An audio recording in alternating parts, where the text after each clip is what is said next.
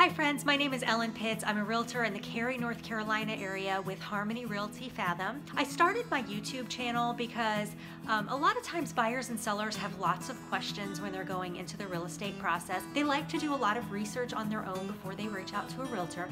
So I decided I would answer a lot of questions that people commonly ask me. Things like, um, why do I need to get a survey and what's the worst thing that could happen to me if I don't get one? How can I get the best price for my home? And many others like that. In addition to that, I really wanted this channel to be a place where people can come and really feel what it's like to live in the Cary and Raleigh area. I work with a lot of clients who move here from all over the country and all over the world and having the ability to actually watch videos that showcase the beautiful things that make Raleigh and Cary so unique we have really amazing parks and green spaces and events and food and farmers markets and museums, um, just everything. It's a beautiful place to live and I really wanted you all to be able to see that and to feel that from far away.